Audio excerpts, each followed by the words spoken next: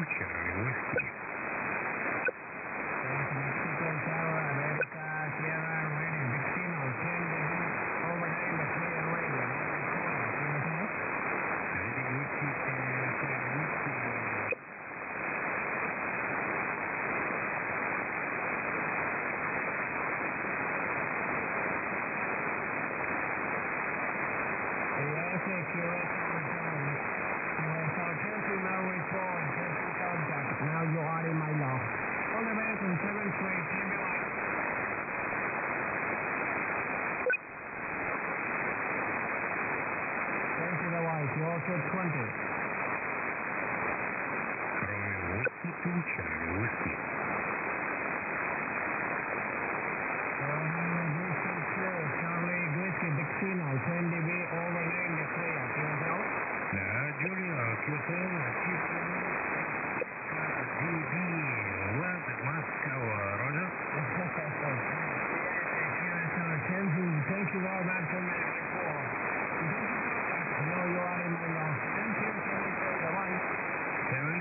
flags and reds would be.